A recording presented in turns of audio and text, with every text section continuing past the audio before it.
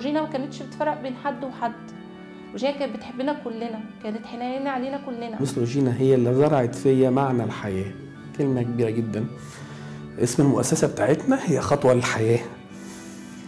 اللي روجينا اختارته معانا هي وأمل الاسم بس للأسف ما كناش عارفين إنها مش هتكمل الحياة معانا. جيجي كانت زميلتنا هنا في المكان. كان حد حنين جدا يعني.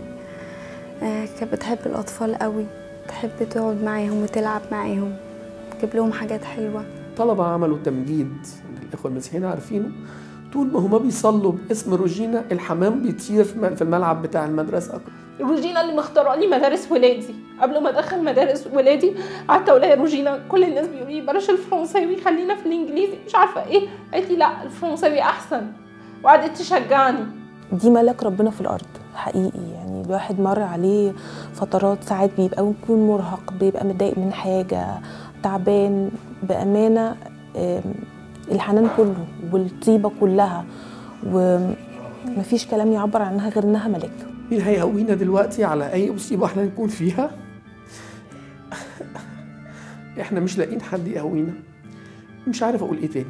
بس روجينا بكل بساطة الاسم اللي اخترناه خطوة للحياة. إحنا نقول دلوقتي روجينا هي الحياة اللي إحنا افتقدناها. هنقدر نتنفس إزاي من غير روجينا؟ صورتها قدامي شخصها ضحكها كانت يبعتوا يجيبوا أكل تعالي كلي معانا. أنتوا كلتوا؟ لا آه مثلا. لا طب تعالوا. كذا مرة نجيب ويبعتوا يجيبوا أكل ونقعد وناكل ونتلم و... لا يعني صعب صعب. يعني إنسانة فعلا مش هتتعوض. بتجري بسرعة تجيب لي سجادة الصلاة عشان تس- تسبق أمل. تجري بسرعة تجيب سجادة الصلاة عشان تقول له أنا اللي آخد الثواب. أنا اللي آخد الثواب. يعني هي ما عملتش أي حاجة وحشة في حياتها.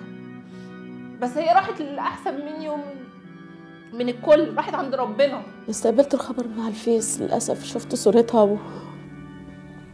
وعرفت إنها توفت. قمت جريت مسكت التليفون واتصلت بالمركز. هنا بتأكد من الخبر. اتأكدت للأسف اتصدمت بالخبر. آخر جملة بالنسبة لنا إحنا كلنا كانت بتقول أنا ما أحبش بالحرف الواحد كده.